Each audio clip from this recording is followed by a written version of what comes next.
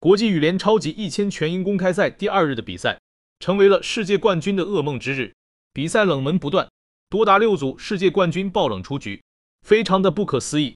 其中最强的徐载双线爆冷出局，徐承载、姜敏赫在男双比赛中零比二不敌任翔宇、何继霆，惨遭一轮游。混双中，徐承载、蔡佑廷零比二爆冷不敌叶红卫、李嘉欣，惨遭一轮游。女单比赛中，世锦赛冠军因达农和奥原希望分别不敌金佳恩和戴资颖，首轮出局。男双比赛中，世锦赛六冠王阿山亨德拉零比二不敌兰吉雷蒂谢提，这三场比赛还可以理解，毕竟对手是超一流选手。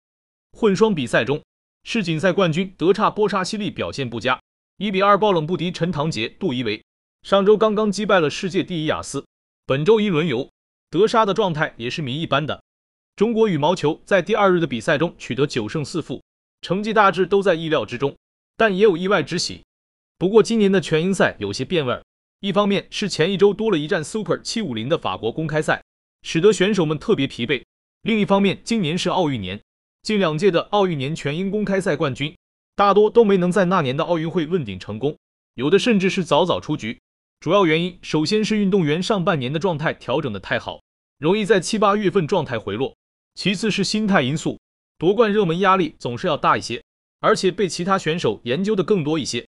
在全英赛第二日，石宇奇对阵丹麦选手杰姆克的比赛，应该是球迷最关注的比赛之一。最终，石宇奇苦战三局胜出。杰姆克在德国获得亚军之后，在法国公开赛选择了退赛，准备了一周时间恢复来对付石宇奇。而石宇奇则上周问鼎冠军，到了伯明翰参加全英，可以说舟车劳顿。各方面状态明显不佳，从比赛过程中也可以看到，杰姆克像是打了鸡血，但最后石宇奇还是撑住了，第二局惊险拿下决胜局。双方的争夺依旧很激烈。当石宇奇以十四比十二领先时，石宇奇申请了医疗暂停，随后医护人员入场用绑带给石宇奇的右手无名指进行了简单的包扎。